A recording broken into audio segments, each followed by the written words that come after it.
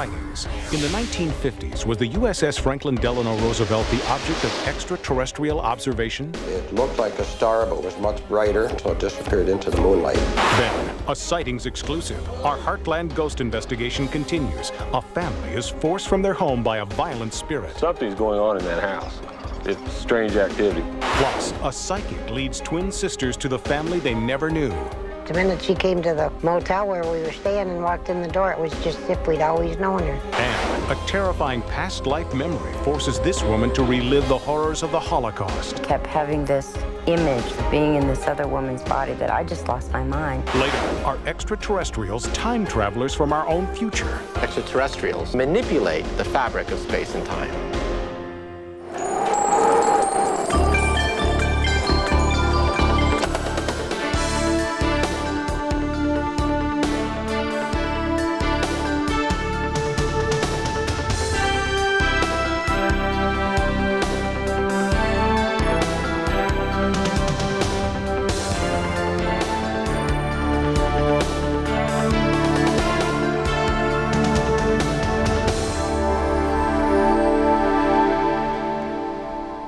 Welcome to Sightings. I'm Tim White. In 1952, military personnel stood together on the deck of a Navy flagship, the USS FDR, and watched as a disc-shaped UFO hovered above them.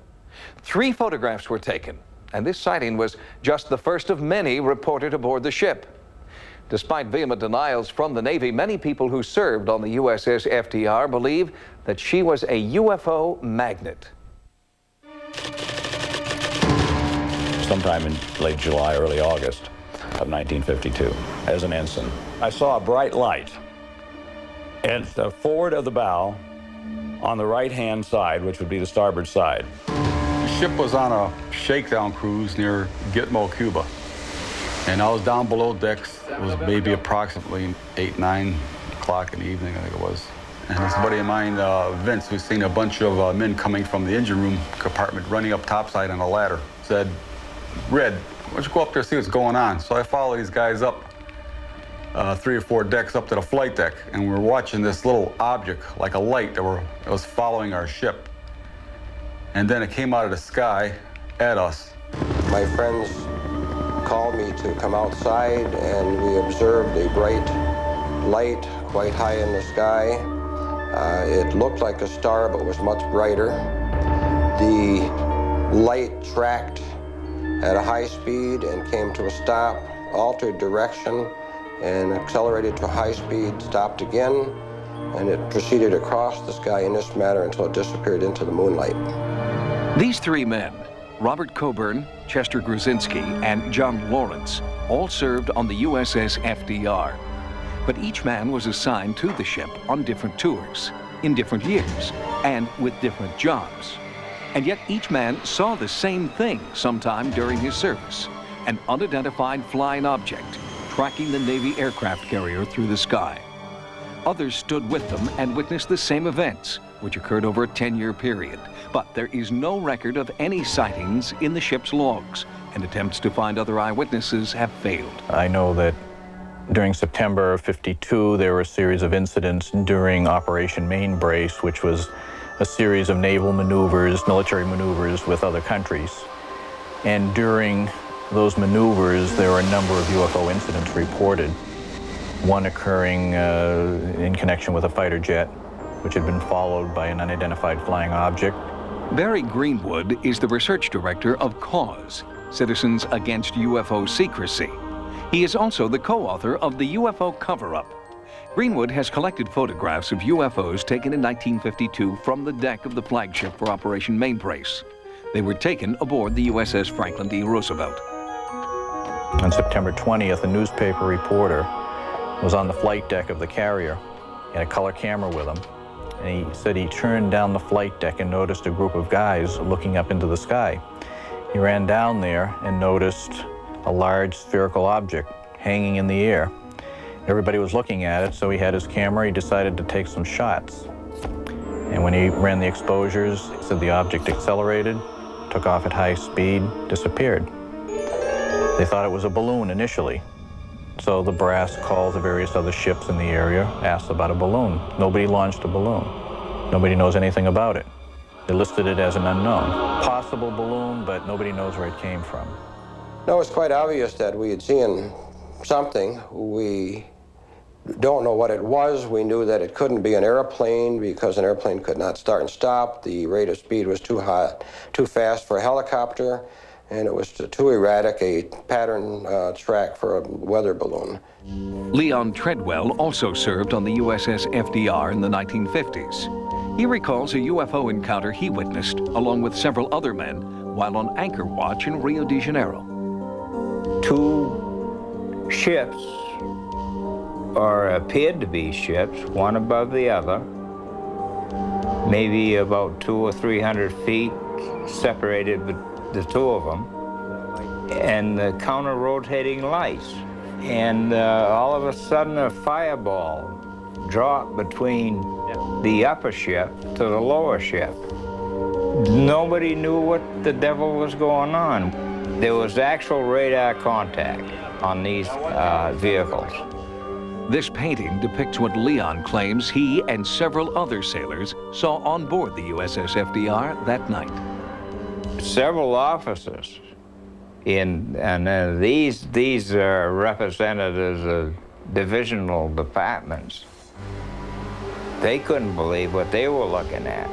Everybody signed a release statement that nobody outside of CIC would say anything about this uh, for at least 15 to 20 years. The CIC, the Combat Information Center, is master control for any Navy aircraft carrier. Here is where radar, mapping, target searches, and operations are conducted. We were just told to, to not say anything about this to anybody outside of, of uh, Combat Information Center. The commander down in Virginia, when I was discussing this with him, he was on a ship, he told me that I wasn't even supposed to mention this. I just ignored what he said. It's one of my desires in life is to find these other witnesses that were up on that flight deck with me witnessing this object as it came on top of the ship. There are a lot of times I wish that this would have never happened because uh, all the aggravation has caused me. I had people that uh, laughed and said they wouldn't believe me. Really? Yeah, I was there. I was there. I seen it. You weren't there. You don't know. You don't know what it was like. But why would an unidentified flying object of this Earth or any other spend nearly a decade tailing this particular ship. Crewmen claim that the FDR carried advanced nuclear weaponry that was supposedly top secret. The sighting was well known to insiders in the government at the time. It was written about by the head of Project Blue Book after he retired from the military, and uh, he described it in great detail. There's a possibility that uh, our weapons were of, uh, of uh, a sort that they were interested in. Uh, of course, the carrier ca carried all kinds of different weapons. The FDR uh, was the only aircraft carrier at the time that had uh, thermonuclear capability. It was the only one that was allowed to carry the H-bomb. We would be the only ship naturally that would carry them because we would be, have the only method of delivering the, the atomic bombs. Since World War II, there have been a number of UFO sightings linked to nuclear storage and transport facilities. But these reports remain unsubstantiated, in large part because the government organization best equipped to investigate the sightings, the U.S. military, refuses to do so. I think they are probably covering up the incidents with the FDR because they're covering up all incidences of UFO sightings. I won't uh, rest till I find somebody else that was on that flight deck uh, with me to witness that same thing I did. The experience of the crew members aboard the USS FDR may not be unique. Sightings is currently conducting an in-depth investigation into charges that UFO confrontations have occurred at three different military bases where nuclear weapons are stored. We'll bring you the results of that investigation on a future edition of Sightings. Next, a sightings exclusive. A violent spirit continues its assault on a Midwestern family. It happened so quick. I'm sitting right here and I didn't see it. It's on my side. This is what we know so far. A two-story house built in 1872 sits on a tree-lined street in the Midwest. Inside, many people, including members of our sightings investigative team, have reported feeling anomalous cold spots, eerie contacts with amorphous entities, and inexplicable electrical energy. One man has been plagued by spontaneous bleeding welts that he attributes to a vindictive spirit. What we don't know is why. What is causing this haunting activity in America's heartland? I could feel it. How did that happen? You don't know. I, I uh, Sally? Go on in, walk in there. Walk in there. Oh my God! Look, look. It's forming right there. I have two scratches. Oh, There it is. Look at it. It'd be okay if I sit down for a second. Why don't you sit? Why don't you sit down, Sally? Sightings viewers have their own theories. The wounds are self-inflicted, an allergic reaction, or psychosomatically induced. The victim, his family, and many visitors here believe the strange phenomena are caused by a vindictive entity in the house. And that is why this family has moved out. But the empty house is still the focus of an ongoing sightings investigation. World-renowned paranormal investigator Kerry Gaynor believes this case deserves the same careful attention he brought to two previous cases, the entity and poltergeist cases. With the family gone, Gaynor has a unique opportunity to determine if the source of the ghostly activity is the site or the family. Maury Schrag is an environmental engineer with the Industrial Compliance and Safety Corporation. He was brought in to search for electromagnetic anomalies, temperature shifts, Between 25 and 30. abnormal radiation levels, or unusual levels of radon, carbon monoxide, or other gases. Nothing unusual was picked up, but there were still reports of ghostly activity by many visitors to the home, including the owner, a 20-year veteran of the local police department. My hand got real cold. I mean, it got real cold. I thought somebody was doing something. I looked back both ways and I asked everybody in the room if they had felt that. I said, it startled me. It kind of scared me. Did y'all feel that? And uh, I didn't buy any of this. I really didn't. Until that happened. It happened. And uh, we had felt the room temperature, drop out, which I figured was a draft in the room. But when it touched me, that was not a draft. Something's going on in that house. It's strange activity. What it is, I don't know. And so far, scientific equipment has failed to come up with the answer. Thought we might find something as we took several different kinds of measurements, and we found basically that the readings were no significant deviations. The lack of scientific evidence in the face of so many personal experiences convinced the family to seek help of another kind. They asked that an exorcism be performed to rid them of the entity. We were all holding hands, and at one point, my husband would grip real, real hard. We were told not to let go. Don't break the circle. And he just held on real tight because he was in such pain. Um, it was odd because he's never really felt the pain before.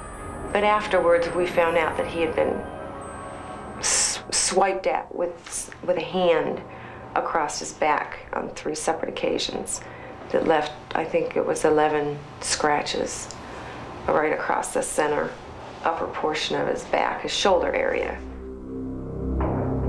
These are the scratches that materialized during that exorcism. And as long as the family stayed away from the house, the scratches didn't return.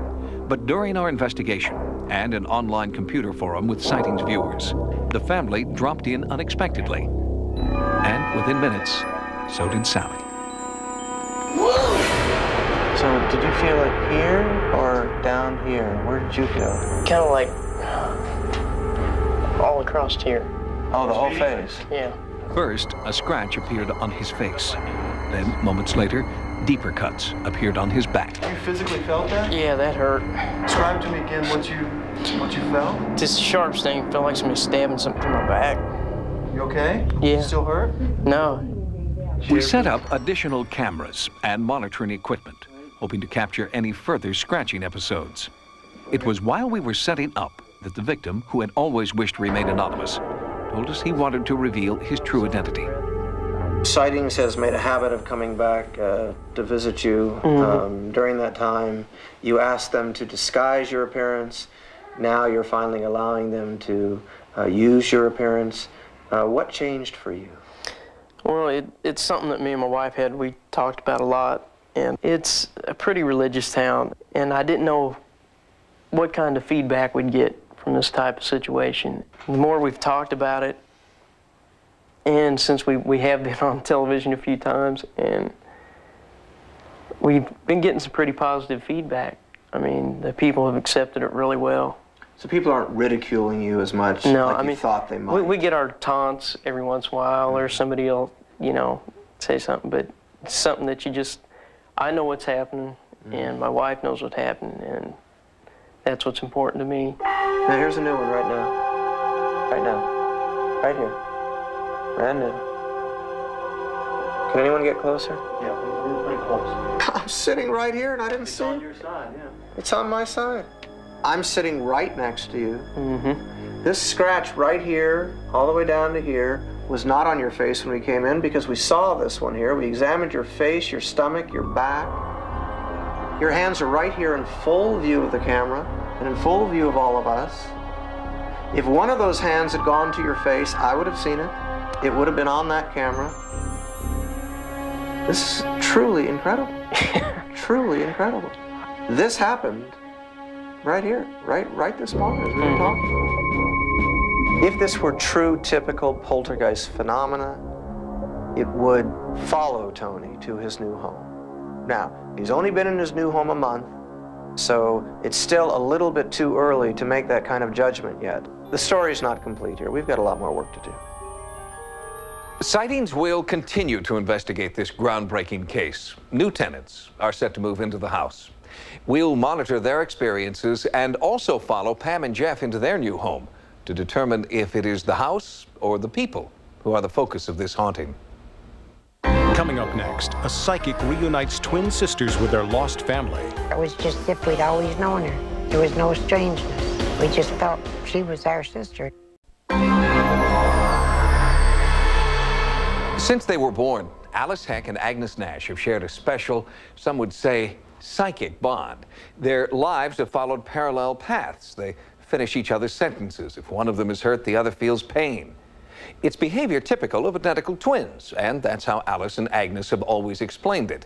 But when they were 51 years old, their mother revealed that Alice and Agnes were not twins. Alice and Agnes were born in 1926. They share the same likeness, the same birthday, and a powerful mental bond. We're exact, identical, mirror twins with hypertelepathy, which means it's almost like a form of psychic. I can see in my mind what she's doing. She can see in her mind what I'm doing. I can always tell you what she's wearing. She can always tell you what I'm wearing. If I go to the store to buy something, she can see in her mind what I'm buying. She'll go to the store and buy the same dang thing. When she went through labor, I went through the whole thing with her, and when I had my twins, she went through it with me. The girls grew up in Rochester, New York, and for 51 years, they believed they were identical twins until the day their mother shared a long hidden family secret. My mother told me when we were 51 years old, about two months before she died, she called us to her house. And she says, I've got something to tell you. I don't know how you're going to take it. And she said, I realize that I do not have too much longer to live. She knew she was very, very sick. And she said, I think you better sit down. Mm, We both more or less said, What is it, Ma? And she says, Well, you've always thought you were identical twins. Well, we are. No, you're not.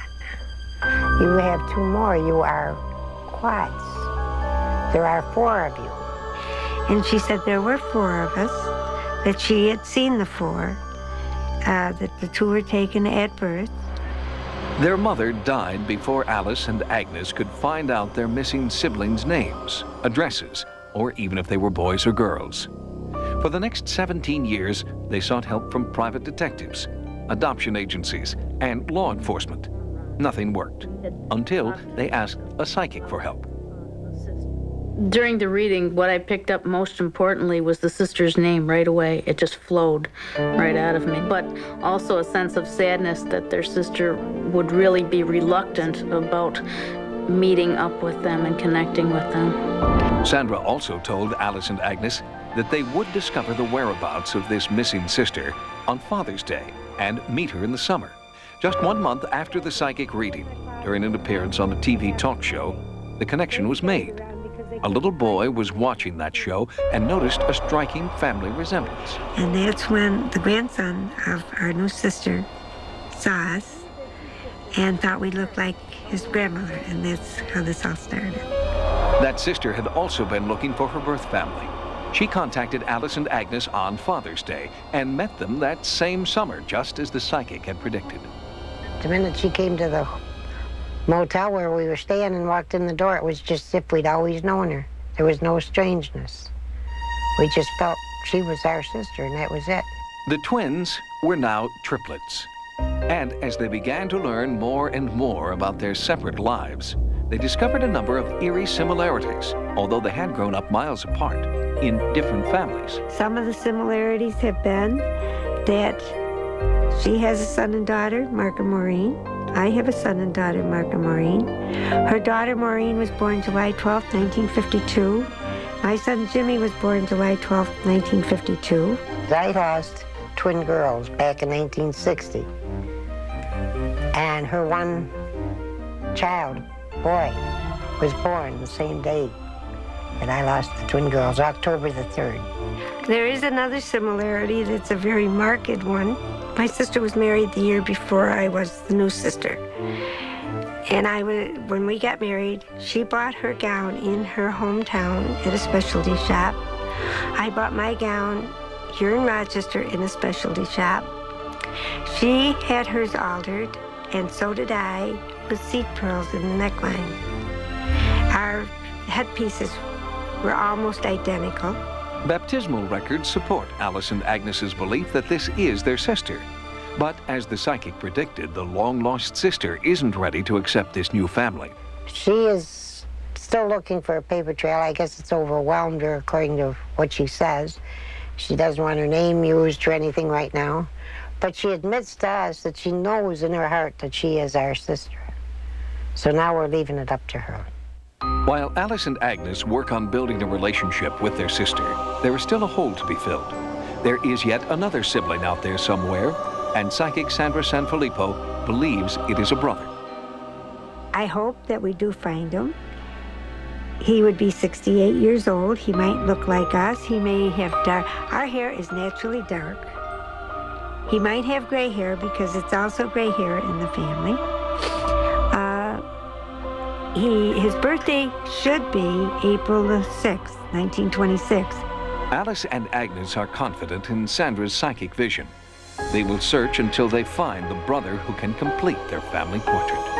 Well, the most that we want to get out of this whole thing is to get the four of us together so that we can all love one another and be there for one another in thickness and in thin, no That's matter what about the future Yes. might bring. Because if they are in pain or need, we want to be we there. want to be there.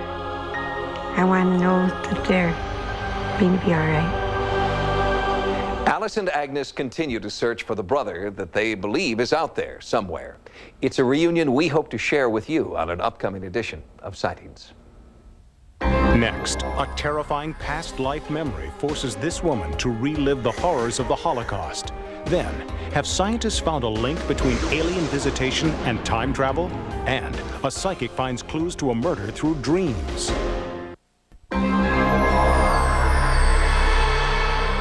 Reincarnation is the belief that a person's essence, their soul, never dies, but is simply transferred from body to body for eternity. Some people claim that they can recall their past lives. Taylor Sammons believes she is one of those people, and there's one past life she can never forget. Why else would she have vivid memories of her own death in a Nazi concentration camp? I was sure I was, I was crazy. I was sure that the fact that I kept having this image, this memory of being in this other woman's body, that I just lost my mind. She was developing some headaches, severe ones. And in going over what was happening with her currently, I wasn't able to come up with any rationale, therapeutic type rationale, that would explain these headaches. Probably the fourth session after the headaches, she showed me some welting, and I couldn't explain that either. I got tattoos. Uh, they were marks on my arm, and I and they ran all the way up, and they were sore, and you could literally see numbers. When the therapy began to change based on this new symptomology, I was thinking, oh my God, what is it that, that's going on here? This is this something is very different. Very puzzled. I guess I was very puzzled as to uh, where this was all coming from. And it was as if becoming me, being born in 1957 in Seattle, was a joke. That had never really happened the way it was. And that feeling alone made me crazy. It was at that point we both agreed to look at some regressive work and see if there was something else going on. These were the kinds of images that overtook Taylor Sammons when she began regression therapy. The nauseating vision of one regime's attempt to decimate an entire race. And the personal horror of feeling somehow responsible. And Taylor Sammons learned that she was not alone Rabbi Yonassan Gershom has uncovered other cases of supposed Holocaust reincarnation and has come to believe that they are real. Her story is very similar to other stories that I have heard of people having these memories and often having a great deal of guilt, a great deal of pain. Through past life regression therapy, Taylor came to believe that she was once Catherine, a German Jew born in 1914 and that her death occurred in the German concentration camp known as Buchenwald. In looking at the genuineness of the memories of Catherine, I believed, and I still believe today, uh, that they were very genuine. And what would happen would be that um, we would sit down and start the regressive process. And Taylor then would start to lose her sense of self right there, and Catherine would emerge. And Catherine would start talking about events that she was struggling with and things that have happened in her life, some very traumatic, very traumatic. And these were the kinds of things that Taylor, throughout the years of knowing her therapeutically, I don't believe she could have known at all, nor could she have prefabricated in a regressive state. Among her past life memories was the name of a town, Lunenburg, where Taylor believes Catherine once lived. It is among the remembrances she has chronicled in her therapy journal. I lived in a village before we lived in the city. To tell you the name of the city, I want to say Lunenburg. I think this is the town square where nice things went on at first, and these were like buildings. These were the tops of buildings. They were rounded and they had something up here. I remember cobblestone roads. I remember because I've never seen those. The obscure German town of Lunenburg actually does exist. It is known for its unique architecture, beautiful cobblestone streets, and marketplace. There is a fountain in the middle of the square.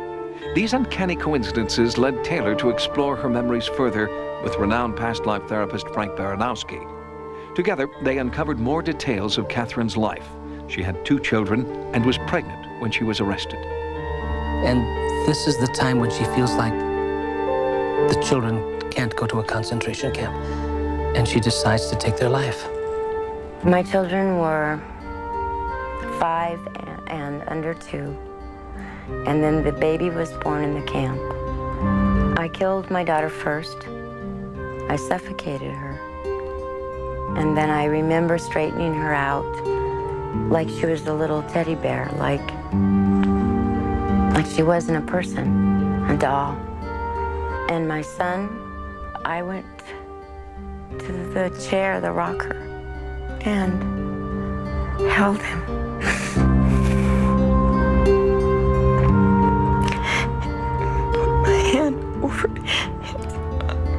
His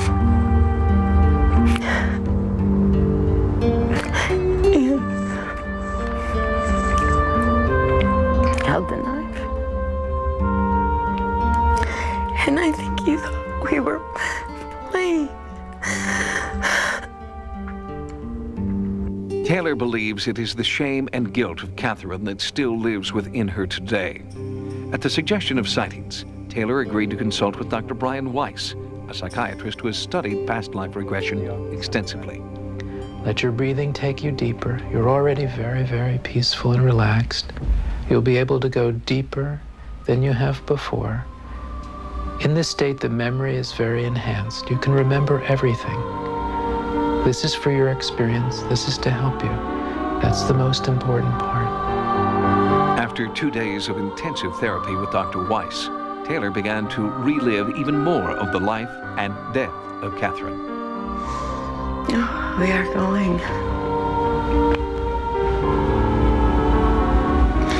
They're on the train. What is it like on this train? The others are singing and praying. Mm-hmm. And it's dark. And it's crowded, and there's children. Do you know where this train is going? Where is it going? Buchenwald. To Buchenwald? Buchenwald, yes. This is all important to remember and then to let it go. You can go in. You know you're safe now. During the sessions, Taylor had vivid memories of life in the Buchenwald camp. She had visions of medical experiments being performed against her will, experiments which ultimately killed her. Go to the end of that life, that last day of her life, and let's see what happens. Can you see your body? What does what does it look like? It is very thin. The breast is missing. Mm-hmm. I think the arm is missing. An arm? And there's sewing in the stomach, and mm-hmm. it's just thin. Mm-hmm. Okay, let's leave this all together now. During another session with Dr. Weiss, Taylor had recalled the last name Leibowitz, possibly a family name. As part of the healing process, Taylor visited the Miami Holocaust Memorial. The images there were hauntingly familiar, and there, on the wall of remembrance, was the name she knew too well. Although agonizing, Taylor's journey through Catherine's life has been a way to heal. Taylor's story seems similar to many of the cases I've had from the Holocaust in terms of the memories and the details and the emotion. But the remembrance still seems to be very healing, whether they're validated or not validated. People seem to get better, to lose their fears and phobias, to have more joy and happiness in their current lives. This is the important thing to me. If I let that healing continue, maybe for the first time, I get to really live. With the new clues she has uncovered in her most recent therapy session, Taylor hopes to locate any living relatives of Catherine and put the past to rest. Next, will new theories on controlling time and space lead us to alien worlds? Perhaps in outer space extraterrestrials may have the capability to open a hole in space. H.G. Wells had the time machine. Sherman and Mr. Peabody had the Wayback Machine. And Michael J. Fox had a DeLorean. The fantasy of time travel is one of the most popular themes in science fiction.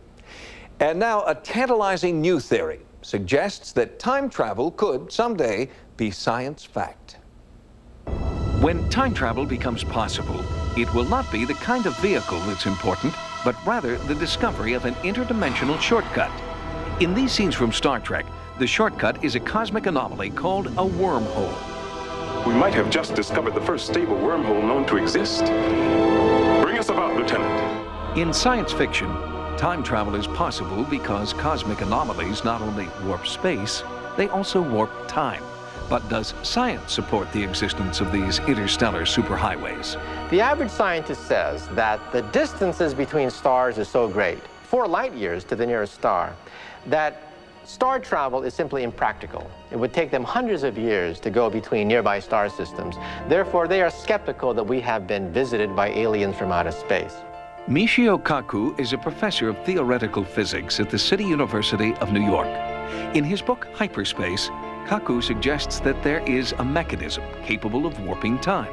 And Kaku does not rule out the possibility that another, more advanced civilization may have already found that mechanism, the unified field that Einstein dreamt about. The new wrinkle, which has caused quite a bit of excitement among theoretical physicists, is that perhaps this river of time can have eddy currents whirlpools, and perhaps may even fork at a crucial juncture in history. But where those forks and eddies are, no one knows. The cosmic highway isn't marked with signs saying wormhole next right or this way to ancient Egypt. At this point, just finding holes in space is more of a stumbling block than traveling through them. Perhaps in outer space extraterrestrials may have the capability, with a technology thousands of years beyond our own, to open a hole in space and to begin to manipulate the fabric of space and time.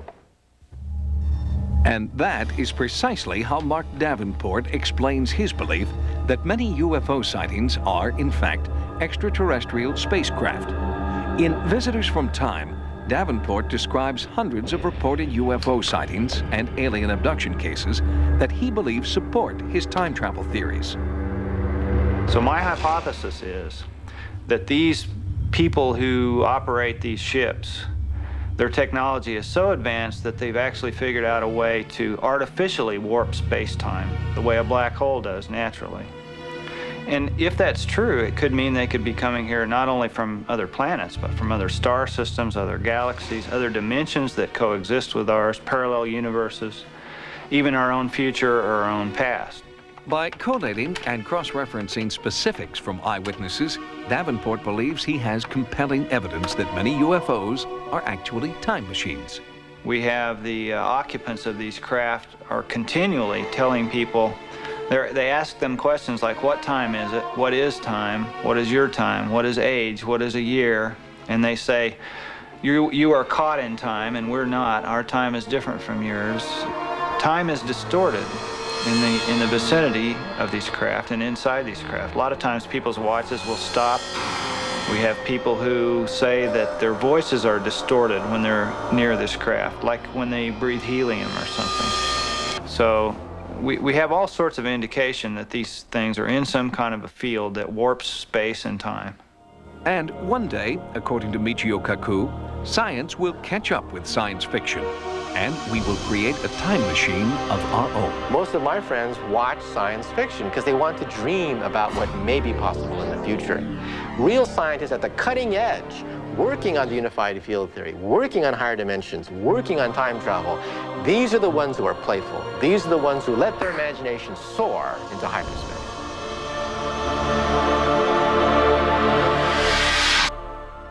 Not all scientists agree with Michio Kaku's hyperspace theory. Eminent physicist Stephen Hawking has stated that time travel is impossible because we've never been visited by any tourists from the future. Or have we?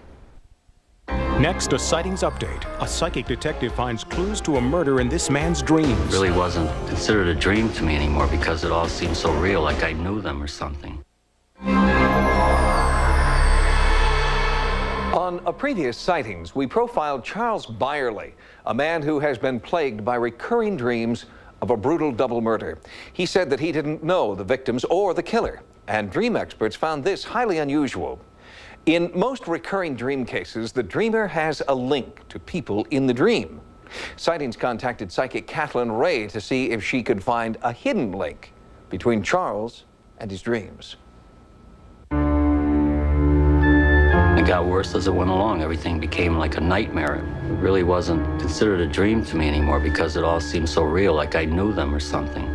For more than three years, Charles Byerly has been dreaming about the real-life murders of 15-year-old Barbara Grimes and her 13-year-old sister, Patricia. The girls were last seen alive in December of 1956, leaving their Chicago home on the way to the movies. Their bodies were found a month later along a rural road. I believe they've been reaching out. They still are. Maybe they're not at rest, you know? Maybe they just want to find out who did it, who's responsible. Chicago police detective Jerry Schultz is keeping track of Byerly's dreams and feels there may be something significant in the strange recurring visions. Detective Schultz agreed to consult with psychic detective Kathleen Ray about the still unsolved case. The first thing I do is take the victims and do a psychological profile. In the case of these two girls, I went into their personalities to see why would they perhaps go with a stranger and get themselves into this situation. Then the other thing I do is look to see the suspect. Do they know the suspect? I feel the man is probably in his early 30s. Um, he gives off the feeling of late 20s, early 30s, somewhere in there. I feel that he came upon the girls while they were waiting for a bus.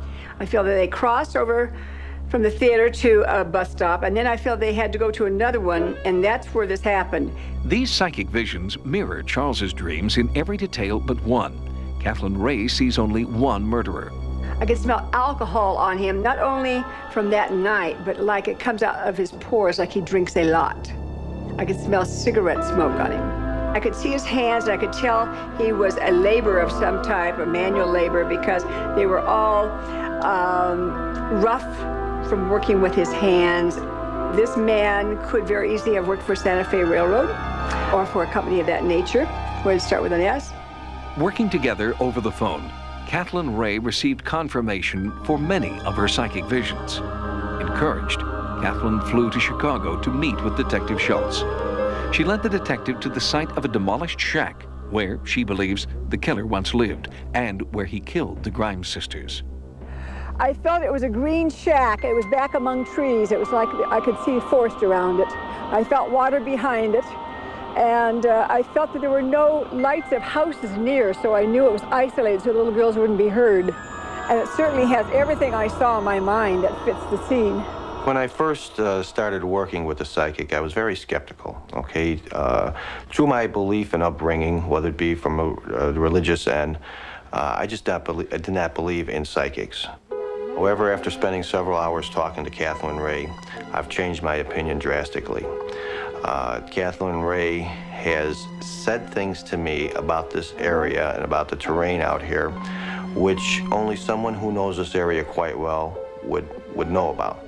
And no one had told Kathleen Ray that the site of the shack was only three miles from where the bodies were actually found. I feel like he stopped and he brought them down, drug them down far enough to where people wouldn't be inclined to to be driving along and seeing just on the edge of the road. Although Kathleen Ray believes the murderer no longer lives in the area, she is confident he will be found. I feel like he's still alive. I feel like he doesn't live here right now. I feel like he lives in a state that has more mountainous terrain around. Uh, I felt it was a state that started with an M. With the clues that Kathleen Ray has given me, I've got somebody in mind. Okay, uh, it's just something that I'm looking at right now. The recurring dreams that plagued Charles Byerly and the psychic visions of Kathleen Ray each point in the same direction. It's a direction that Detective Schultz is now following in the hope that Barbara and Patricia Grimes may finally rest in peace. Officially, there is no suspect in the death of the Grimes sisters. But Detective Schultz is following up on the leads Kathleen Ray has provided in a concerted effort to reopen the case.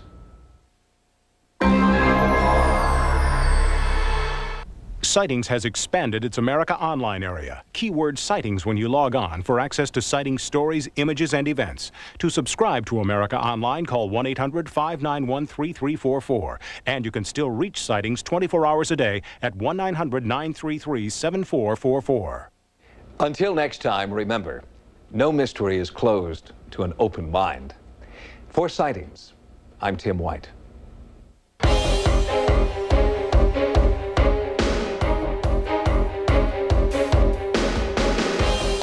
Next on Sci Fi Dark Shadows.